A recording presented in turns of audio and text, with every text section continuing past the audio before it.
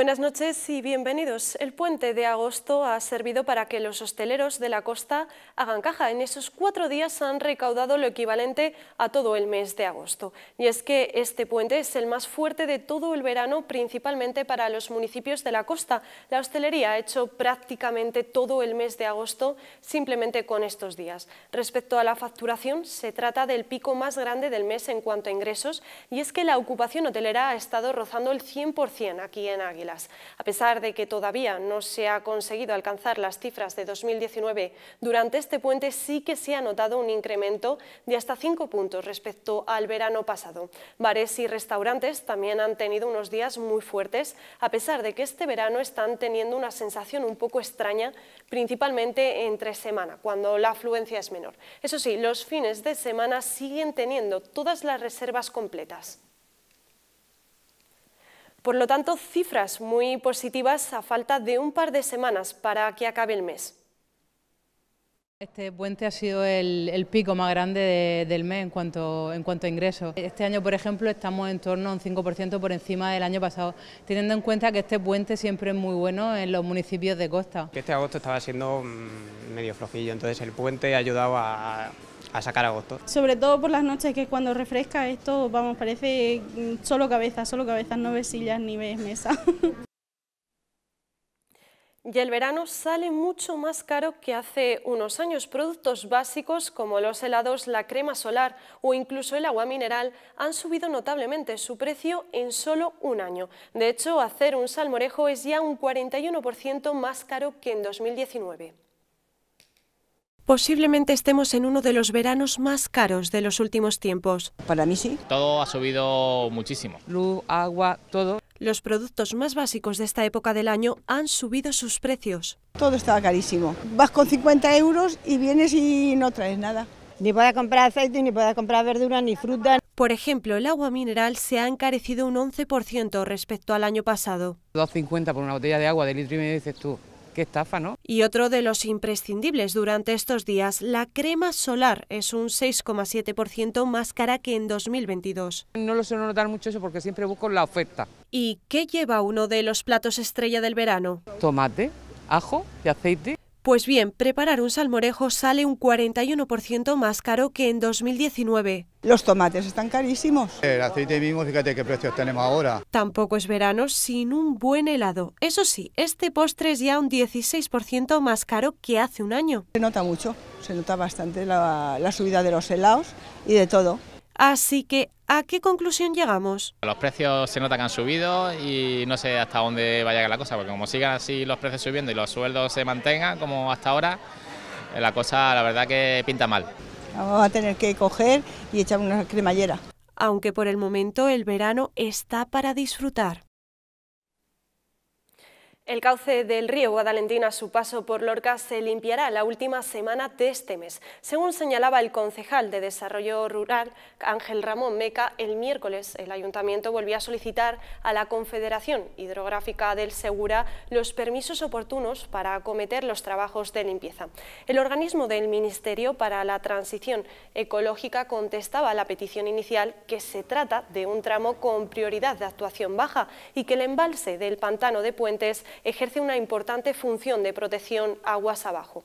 Por lo tanto, esperan que en esta ocasión el organismo de Cuenca atienda la petición formulada para la limpieza del cauce del Guadalentín, competencia del propio organismo, ya que preocupa el estado que presenta con abundante vegetación de gran porte que puede convertirse en un tapón si se producen fuertes lluvias. Águilas es el segundo municipio de la región con menos deuda pública por habitante.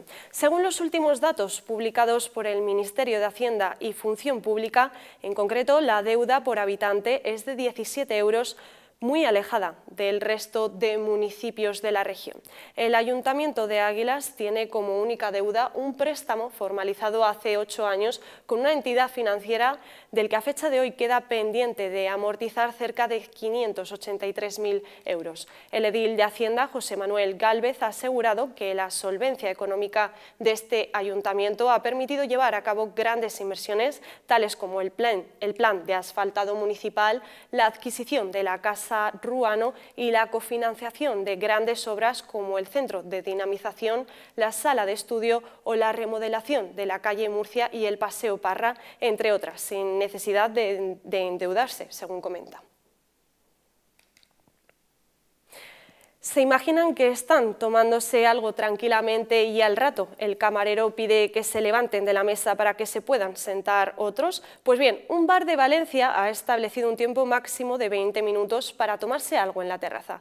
Esto ha creado un nuevo debate entre clientes y dueños de establecimientos sobre si se debería poner un límite al tiempo de consumición y las opiniones son bastante variadas sentarse en una terraza y tener que poner el cronómetro. Me gusta estar tranquilita, por lo menos una hora. Mi media hora no me la quita nadie. El dueño de un bar de Valencia, cansado de que se ocupen mesas sin apenas consumir, ha establecido un tiempo máximo de 20 minutos por consumición. Y es que es algo que molesta a muchos hosteleros. Sobre todo la gente que a lo mejor pide un café y se pega pues, bastante tiempo ahí. A lo mejor podríamos estar aprovechando la mesa. Y en algunas ocasiones tienen que presionar de manera indirecta. Preguntar, ¿van a tomar algo más? ¿Qué os falta, chicos? Mm, ¿Hace, algo, ¿Hace falta algo por aquí? Por eso surge una nueva polémica. ¿Se debería poner límite al tiempo de consumición?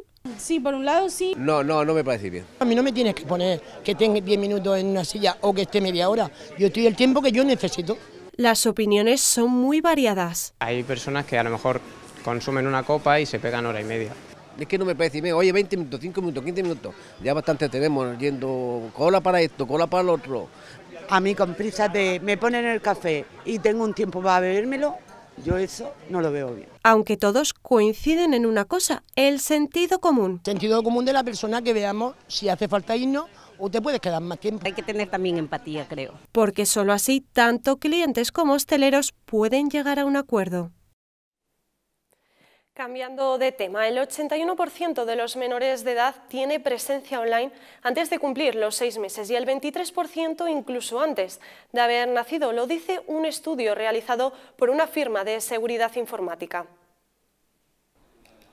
En la última década las redes sociales han ido ganando fuerza. Parece que todo tiene que mostrarse a los demás para demostrar que tenemos una vida más guay. Permites que todo el mundo vea tu vida sin conocerte ni nada. Esa necesidad ha acabado creando una nueva tendencia en la que muchas personas comparten todo sobre su hijo en Internet.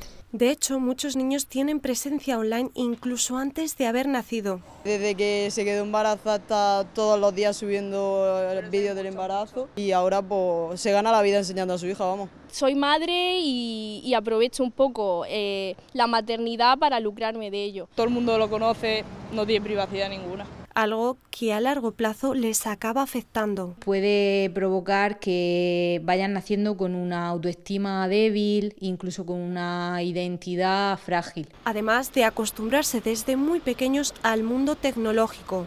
Si es lo que le han inculcado desde pequeño, va a hacer lo mismo. Si tu madre lo hace todo el tiempo, pues ya ni te digo, porque al final un poco el primer ejemplo que tiene. Es por eso que los expertos recomiendan seguir una serie de indicaciones. Si es menor, yo recomiendo que se le pixele la cara. Ser muy cautos con la gente con la que compartimos. Y así también educarles en algo tan peligroso como es hoy en día el mundo de Internet. Y Águilas vivió anoche una nueva edición de su Pride más multitudinario. La plaza de Antonio Cortijos fue testigo de la tercera edición de esta fiesta ya consolidada en este municipio costero.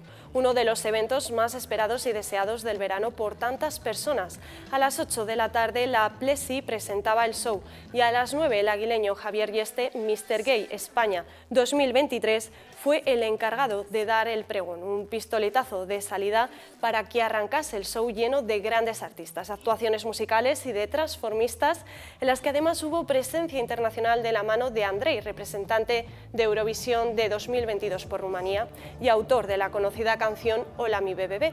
Posteriormente, a las 10 de la noche aproximadamente, arrancó el gran desfile del Pride en el que participaron todos los artistas acompañados de música y de mensajes reivindicativos.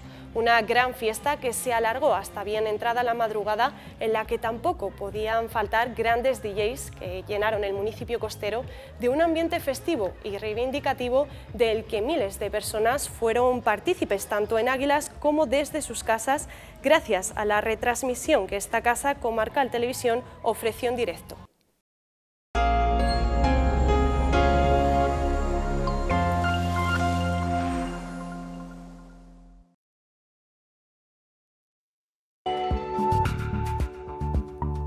Vamos con el tiempo. Para mañana esperamos en la región cielos poco nubosos o despejados, nubes bajas y brumas matinales en el campo de Cartagena. Temperaturas con pocos cambios, vientos de componente este flojos en el interior. Mañana en Lorca se esperan cielos despejados con temperaturas máximas de 37 grados. Las mínimas por su parte no serán superiores a 21. Lo dejamos aquí por hoy, volvemos mañana con más noticias. También pueden seguir la actualidad a través de nuestra página web comarcaltv.es y en nuestras redes sociales. Que pasen una buena noche. Adiós.